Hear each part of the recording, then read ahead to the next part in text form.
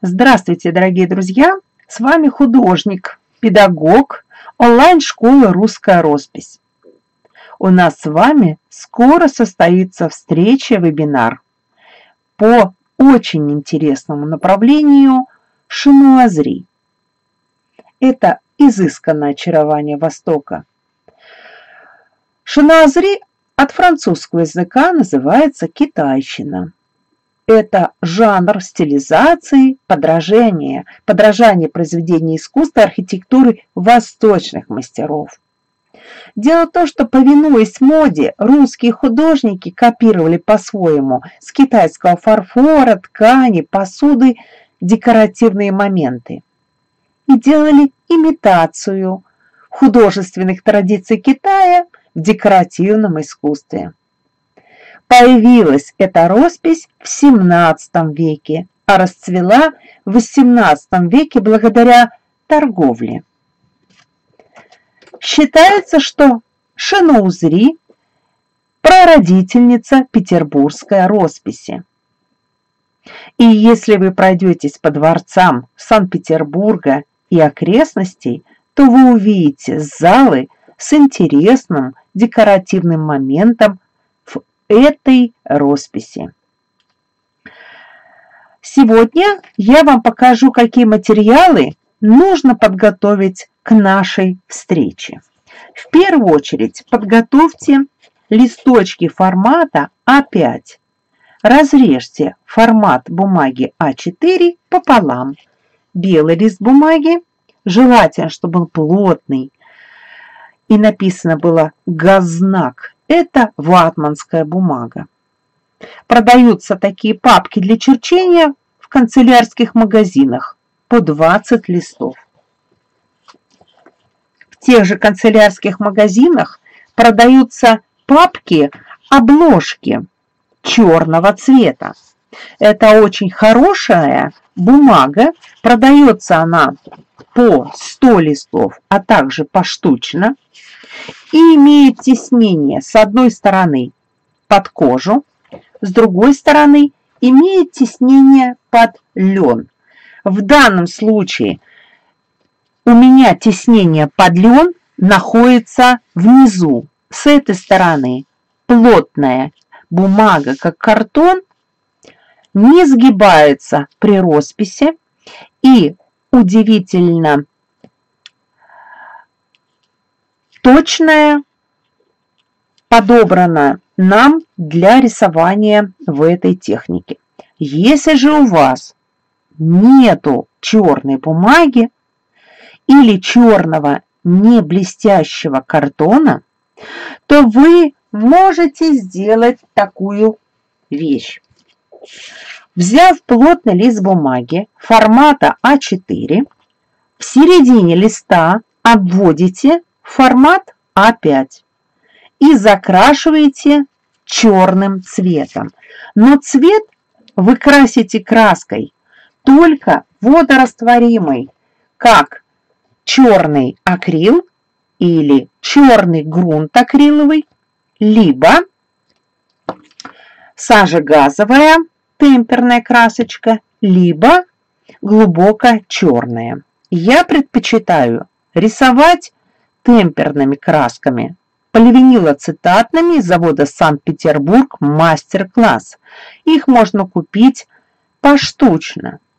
Для этого вида росписи нам понадобится всего три краски. Это белила титановые, сажа газовая, либо акриловая черная краска или грунт. Также вы можете взять грунт акриловый белый, но он более прозрачный и может быть еще и лучше. Теперь я покажу вам, как я развожу красочки по баночкам. Это не гуашь. Я использую баночки из-под гуаши, выдавливаю не больше середины краски и разбавляю при помощи воды и деревянной палочки или древка старой кисточки до состояния жидкой сметаны. И вот так же я делаю белую красочку. Смотрим, чтобы красочки были разведены одинаково до состояния жидкой сметаны. То есть краска должна капать не, не сильной струйкой, а именно капать с нашей кисточки. Если это темпера, акрил может быть поплотнее. Теперь я хочу сказать и продемонстрировать мои любимые краски фирмы Атури. Это акриловая золотая краска. Вы можете купить любую акриловую золотую краску, только не гуашь. Но если вы будете рисовать на бумаге только, можно купить и гуашевую золотую краску, тем более, что сейчас она продается очень хорошего качества. Эти краски имеют очень большое количество оттенков. Поэтому вот на баночке, на прозрачной, вы видите цвет, такой цвет у вас и будет и здесь. Самые лучшие цвета, это не обязательно этой фирмы покупать. Мне нравится золото инков, золото маджестик, королевский шелк, а также можете червонное золото спросить. Если у вас есть дома золотой контур по стеклу и керамике, вы смело можете работать этим золотом, так как именно в этих контурах и продаются акриловые наполнители. Я сейчас продемонстрирую вот такие контуры. Ну вот у меня, например, здесь медь. Это вот акриловая красочка здесь.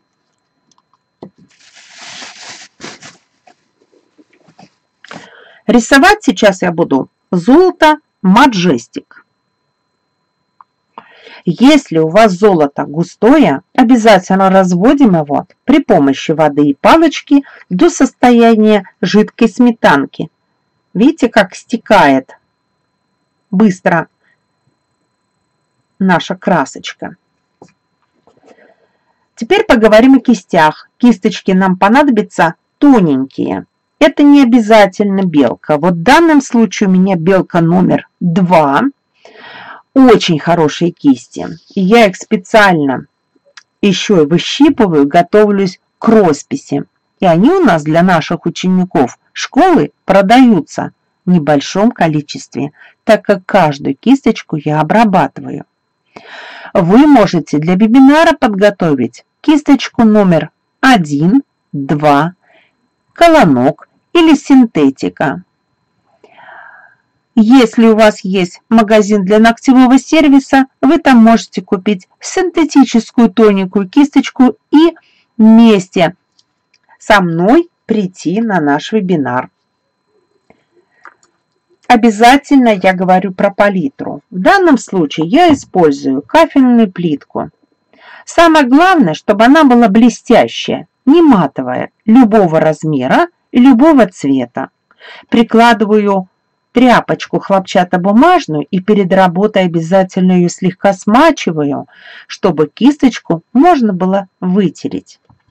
Это наша рабочая кухня художника.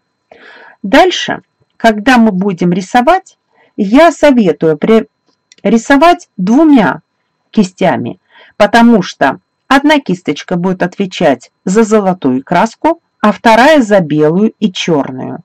И желательно также иметь две баночки с водой, чтобы у нас не смешивалось даже в воде остатки краски. Нам понадобится линеечка, резиночка любая и карандашик с закрытой такой вот любого вида, вот у меня их разные есть, закрытым э, таким видом точилки. Потому что иногда требуется в работе очень быстро подточить карандашик. Я буду рисовать очень мягким карандашом, например, 8B. И он будет смотреться на бумаге на черной, как будто я рисую белым карандашом. На самом деле это работа графита. А вам советую приобрести и рисовать карандашиком, не гнущимся, без дополнительного здесь резиночки, который вот стоит обозначение HB. Это твердо мягкий карандаш, и он идеально подходит. Повторюсь, что вам к вебинару надо подготовить один лист формата А5 черного цвета и один лист формата А5 белого цвета. На белом листе бумаги мы будем тщательно проходить эскиз. Композиция очень важная. И на этом я уделяю большое внимание. Потом мы с эскиза будем переносить на черный лист бумаги при помощи карандашика и рисовать уже красками. Ну, а я вам предлагаю сейчас попробовать нарисовать небольшой сюжет в жанре шинуазри при помощи тех красок, которые у вас есть. Я нарисую небольшое дерево с плодами и цветами в китайском стиле. Я нарисую небольшой бугорок и сейчас буду рисовать наше дерево. Оно рисуется не ровно, а изгибается вот так. Смотрим, чтобы здесь было не меньше 2-2,5 сантиметров. В центре наших, нашего импровизированного дерева будут цветы. Мы их нарисуем в виде круга и полукруга, потому что один цветок заходит за второй цветок. Находим серединку и делаем по 5-6 лепесточков.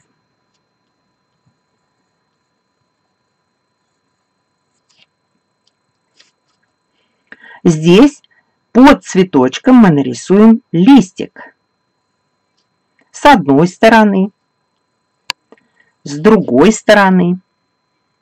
И по бокам два листика, которые сложились. Вот так. Здесь сверху я нарисую наши плоды. Плоды я буду рисовать можно нарисовать при помощи тычка ватной палочкой, можно нарисовать самой, самим кончиком кисточки. Поэтому я вам покажу, как это рисуется при помощи кисточки, а вы можете сделать при помощи тычка. Давайте сюда нарисуем веточку, по бокам нарисуем И здесь у нас будет такие же удивительные плоды. Также мы можем сюда добавить бутончики к нашим цветам.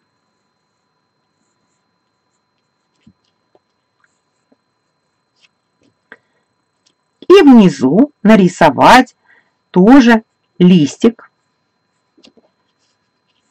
в начале нашего изгиба. Теперь мы берем белую краску. Я накладываю на палитру при помощи деревянной палочки белую темперную краску.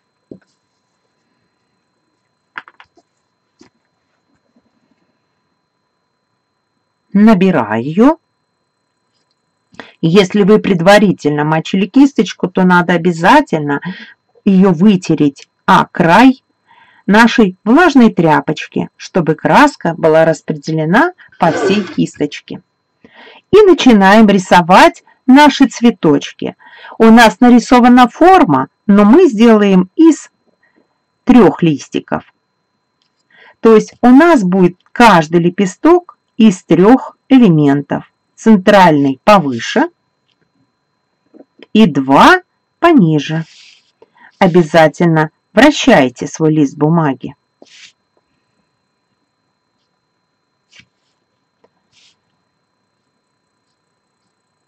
Второй цветочек у нас заходит за первый. Мы его рисуем фрагментально. Вот так. Этого достаточно. И теперь я нарисую бутончики только при помощи, посмотрите, одного мазка. Дальше я нарисую плоды.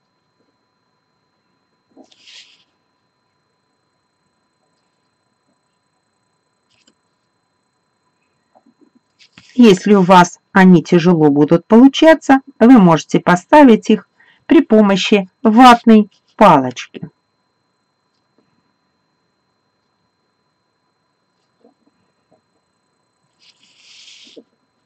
Теперь мы берем другую кисточку и рисуем уже сам ствол.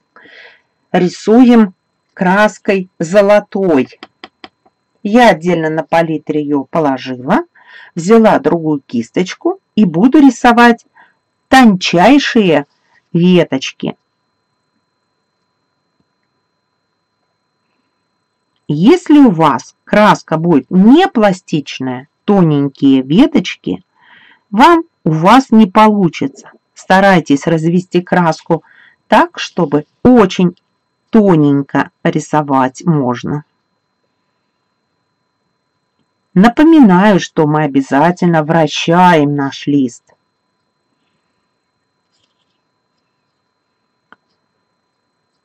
Так как мы рисуем за один прием, я накладываю густо золотую красочку, чтобы она, когда высохнет, была блестящей.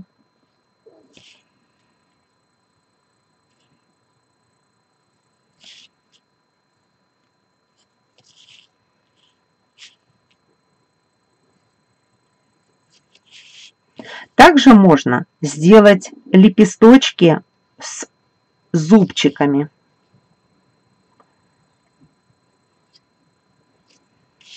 Но это уже усложненный способ, о котором вы узнаете на моем курсе. Аккуратненько подкладываем под наш цветочек красивый тройной листик. Даем бутончикам золотые обрамления.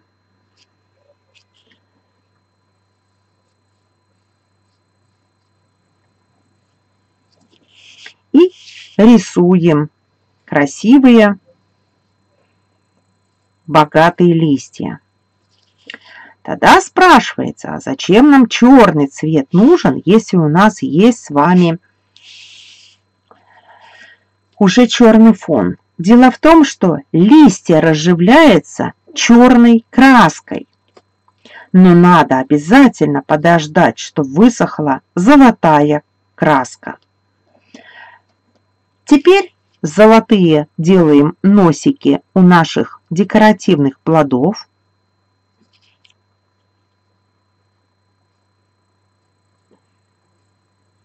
И возвращаемся к белой кисточке потому что нам нужно показать изящную гору. Тоненькой кисточкой мы берем и рисуем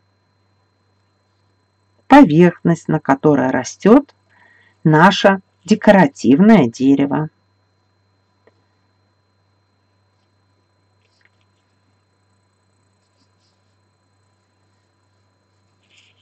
Вот так.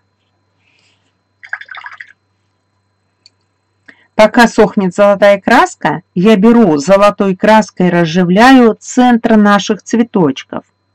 Разживка – это тоненькие полосочки по всем нашим цветочкам. Пусть они мерцают. Их не нужно делать толстыми, грубыми, очень яркими. Эта роспись изящная. Вот теперь возьмем черный цвет Поставим точечки в середине нашего цветочка. Можно их сделать группой.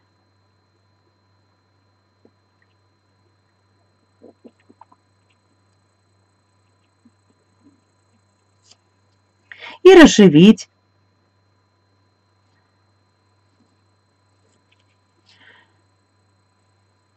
наши листики.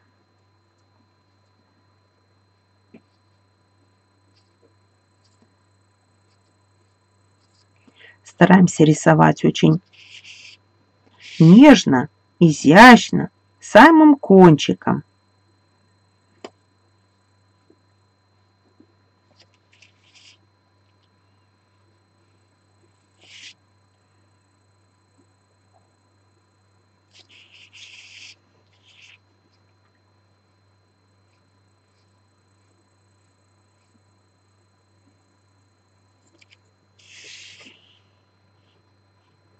Всего вам доброго и до встречи!